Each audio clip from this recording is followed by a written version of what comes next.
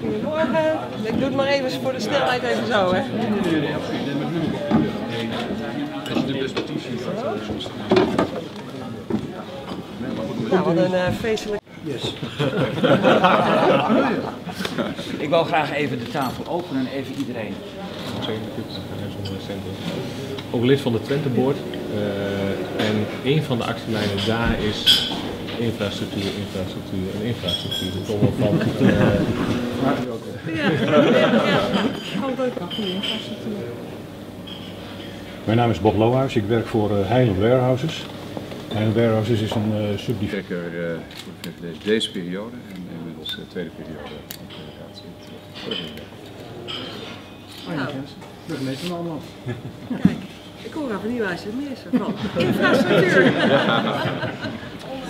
Um, ik denk waar we op hebben ingezet de afgelopen vier jaar, met name dan dus uh, XL Business Park, om die bedrijvigheid daar uh, uh, ja, los te trekken. Echt vanuit de ondernemers, waarbij de aansluiting is gezocht met de onderwijsinstellingen, de onderzoeksinstellingen en de overheden. Regio Twente had er ook een grote rol in, dat is nu overgenomen door de provincie, maar ook de gemeentes zelf. Um, wat heel belangrijk is, de universiteit, de opleidingsinstituten zoals het ROC. Je ziet dat nu ook weer terug in de week van de logistiek, waarin heel nadrukkelijk de samenwerking wordt gezocht tussen de onderwijsinstellingen, de overheden en de bedrijven. En dan ook de bereidwilligheid vanuit de bedrijven om daarin mee te helpen. De man die achter het vuur zit, die doet wat verkeerd. Ja, en heel vaak zijn dat dan weer mensen die wel omgeturnd zijn en die dus wel chauffeur zijn geworden, maar die ervaring missen die je eigenlijk als beroepschauffeur eigenlijk in hart en nieren moet hebben. Je moet dat voelen. Oké. Okay. Zullen we nog één groepsfoto uh, doen? Ja, dan... Ja? Uh... Was je er ook bij, man? Vertellen. Ja, ja, ja. Ja, ja leuk. Ja. Ja, nou ja we, we doen ons best weer, hè. Dus, uh...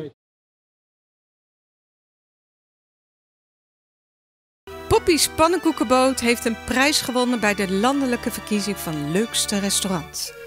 In de gemeente Almelo hebben zij de eerste prijs gekregen met 187 stemmen, waarvoor zij een award hebben gekregen.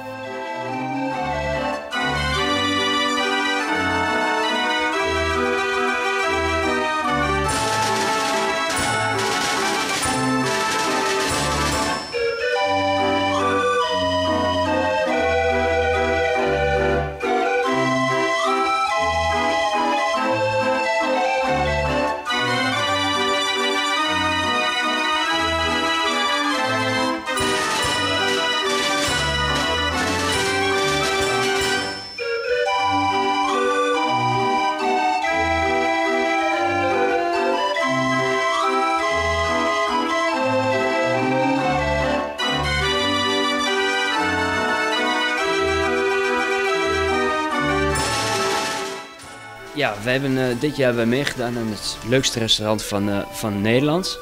Um, in onze gemeente hebben we meegedaan in de eerste instantie. En we hebben een oproep gedaan via Facebook aan onze volgers om, om op ons te stemmen.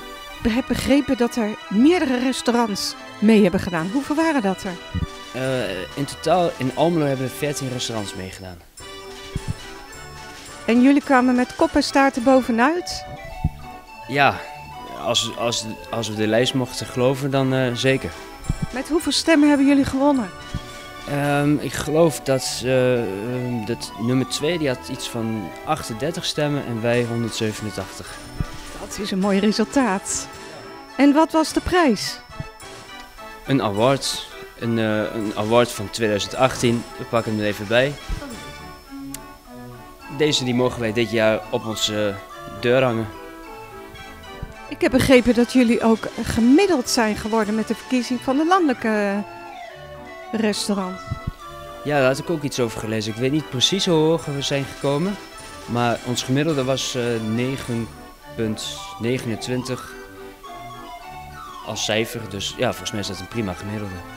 Nou, het is echt een felicitatie waard. En er is nog een speciale dag vandaag. Ja, het is vandaag eh, Nationale Pannenkoekendag. Dus ehm, ja, we vinden het leuk dat er een nationale dag is voor pannenkoeken. Zeker leuk. Dus eh, we hebben vanavond eh, het restaurant open. En eh, er komen ontzettend veel gasten. Dus eh, we hebben zin om pannenkoeken te bakken en uit te serveren. Ik ben Max Christen. Ik ben eh, een van de organisatoren van de avond. Van de Wietop in, eh, in Almelo. Ehm, nou, we hebben het natuurlijk over de initiatiefwet vanuit D66 met betrekking tot eh, de proef voor het eh, legaliseren van de wietteelt. Eh, dat is natuurlijk een heel breed spectrum eigenlijk. Daarom hebben we ook eh, mensen uit allerlei eh, hoeken van expertise. Maar het gaat natuurlijk wel om de hoofdstelling dat eh, het legaliseren van de wietteelt eh, eh, gaat te- tegen de eh, criminaliteit in en verbetert en bevordert de gezondheid. Dat is een beetje het grote verhaal van de avond. Dat is de, de, de voorraad 500 gram. Als ik het legaal wil doen, dan zou ik 100 keer moeten rijden, 100 keer met 5 gram. Om, omdat ik ook niet meer dan 5 gram mag vervoeren. Dan wordt het een deur sticky. Pak ik een papaverplant en ik zet mijn hele tuin vol met papaver. Kan ik doen wat ik wil. Is niemand die klaar. Zet ik vijf plantjes, zit ik op politiebureau. En als ik er geen afstand van doe, kom ik ook nog voor de rechtbank te staan. Ja. Terwijl ik hartstikke ziek ben. Ik word gewoon eigenlijk als crimineel behandeld terwijl ik heel ziek ben. En daar baal ik als een stekker van. Op een gegeven moment ehm, ging men fouilleren, had hij een zakje wiet bij zich. Er zat eh 2 gram in. Je mag tot 5 gram hebben. En eh, mijn collega zei tegen die meneer van, ja, we gaan het eh, invorderen. Maar ik mag toch eh, tot 5 gram bij me hebben. Zeg, ja, dat mag wel, maar niet als je gepakt wordt. Dat is de krom van de wetgeving. Je mag tot 5 gram hebben. De politie doet zo. Het is gedoogbeleid, dus het is strafbaar. Je bent strafbaar, maar je wordt vrijgesteld van vervolging. Hetzelfde geldt voor die 5 wietplanten thuis. Je mag 5 wietplanten in je achtertuin hebben, maar je mag er geen professionele apparatuur bij hebben. Niet meer dan twee. Legalisatie. Eerlijk gezegd ben ik het daar niet helemaal mee eens. Daar wil het daar wel waar je naartoe moet. Maar ik denk dat het begint met voorlichting. Want 80% van Nederland die heeft een beeld van cannabis en wiet wat Ja. niet klopt. Als dat één gemeente is, dan, wat er dan gebeurt is, in, eh, eh, in Hof van Twente wordt het dan bijvoorbeeld voor Enschede gekweekt. En dat moet je niet hebben, want dan gaat het hele circuit naar één gemeente toe. Dus dan zadel je eigenlijk één gemeente op met eh, een landelijk circuit aan goederen. En eh, wat ik weet eh, is dat het helpt voor bepaalde ziektes. En ook Ja. bijvoorbeeld voor kanker, voor MS, Ja. voor reuma. Eh, er zijn al twintig mensen genezen binnen onze organisatie van cannabisolie. Met uit, eh, uitbehandelde patiënten. Ja, ik bedoel, eh, wetenschappelijk weten we, weet, in Amerika weten ze ook nog niet zoveel over deze. Er zijn nog wetenschappelijke rapporten zijn er nog niet uit. Voor mij is nog steeds niet duidelijk van het heel tot gebruik en afspraken zijn nog niet duidelijk. Met de Week van de Logistiek, deze week, zetten we met elkaar de eerste stap op weg naar een logistieke campus in Almelo. Waar ondernemingen, waar ondernemers, waar overheden, gebundeld in het werkplein onder andere, en waar het onderwijs in de verschijning van het ROC van Twente gaan samenwerken aan voldoende instroom, aan behoud en aan doorontwikkeling van logistiek personeel. Werkgelegenheid in alle facetten die werkgelegenheid heeft. Van het economische belang ervan, hè, dat je met werkgelegenheid ook weer winst kunt maken en je bedrijf kunt laten groeien. Maar ook de sociale impact van het hebben van werk en het gevoel dat je meedoet, dat je niet aan de kant staat. Werkgelegenheid is daardoor een wezenlijk en een diep doorleefd onderwerp in Twente. En daardoor een belangrijk, je zou bijna moeten zeggen de belangrijkste doelstelling van de overheden in onze regio.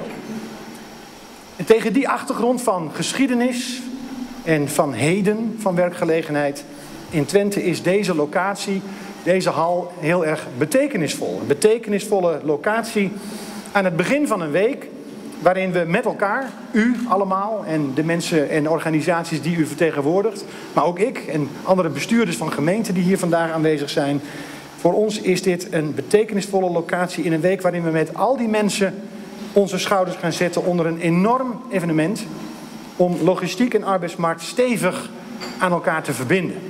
We gaan aan de slag met ruim 700 werkzoekenden die de komende dagen ehm, eh, ja, meedoen aan die, dag, aan die week voor de week van de logistiek, op de dag van de, die voor de werkzoekenden daarvoor is ingericht.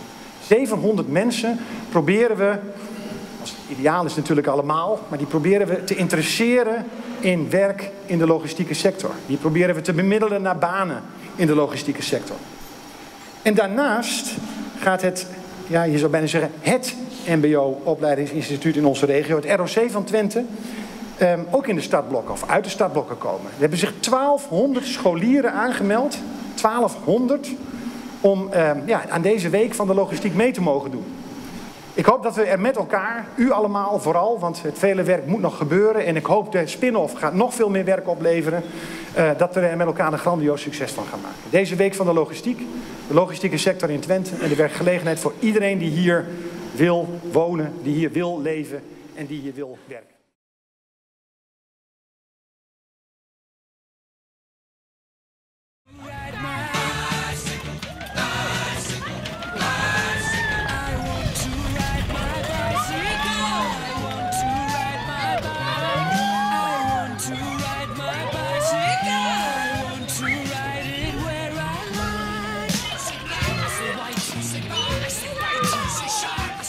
Ben uh, projectleider uh, bij het kindcentrum Sluitersveld. En we staan hier op de school Het Letterveld. En we, hier, we hebben hier een project uh, Jong Leren in het Verkeer. En dat is een verkeersproject voor kinderen van 2 tot 6 jaar. En die leren in een veilige omgeving deel te nemen aan het verkeer. Eerst in de klas, dan op het plein en straks met papa en mama op straat. En voor welke kinderen geldt dit speciaal? Dit geldt voor kinderen van kinderopvang, peuteropvang en de vroegschool, dus de basisschool, de groepen 1 en 2. Dus kinderen van 2 tot 6 kunnen al een beetje kennis maken met hoe het in het echte verkeer gaat. Ja, en dat kan met op de step of met een loopfiets of op de echte fiets als ze al kunnen fietsen. En uh, ze doen dat met een zebrapad en met een stoplicht op het plein. En zo oefenen ze de situaties in het verkeer. En er zijn heel wat kinderen die er aan deelnemen. Hoeveel kinderen gaat het uh, vanmorgen om? Het gaat om, um, ja, dat zal ongeveer uh, zo'n 150 kinderen zijn. Dus uh, de kinderen die nu op de, bij het kinderdagverblijf zitten, de peuteropvang en de groepen 1 en 2 van het Letterveld. Dus een heleboel kinderen mogen vandaag uh, extra verkeerslessen ja. proeven, zeg maar. Ja. Nou, bedankt voor je deelname. Ja, graag gedaan.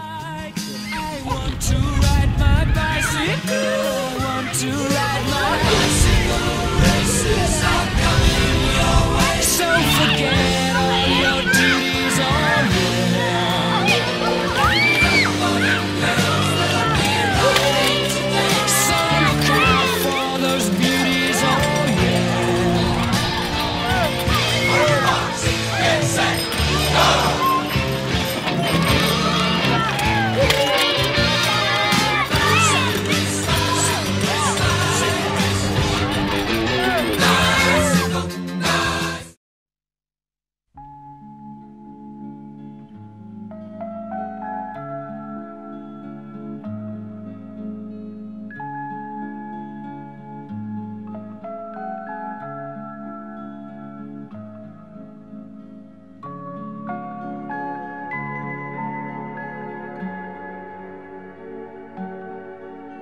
Bezems monteerde in 1998 op een groene bloemsteel twee klaprozen die s'avonds periodiek aanlichten met de tekst Heel eventjes maar.